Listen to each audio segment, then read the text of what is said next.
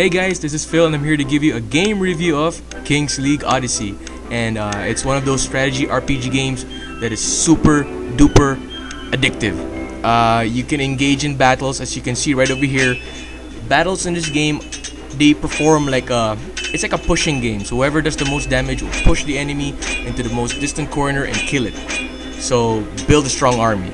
And speaking about armies, you can customize them. You can have a, a team of warriors, mage, archer, rogue, whatever fits your playstyle.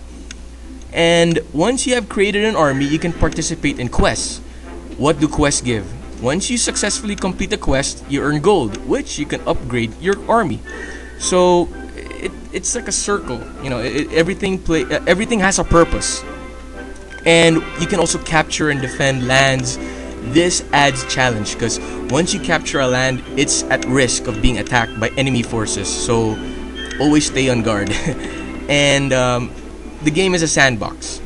You can you can do so many things you want. You can participate in a in a certain type of quest, which will give you reputation on a certain group. So my team is uh, I think the groups are called the Blades. They sound cool.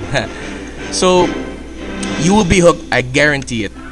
Don't miss this game. Play it now. See you guys.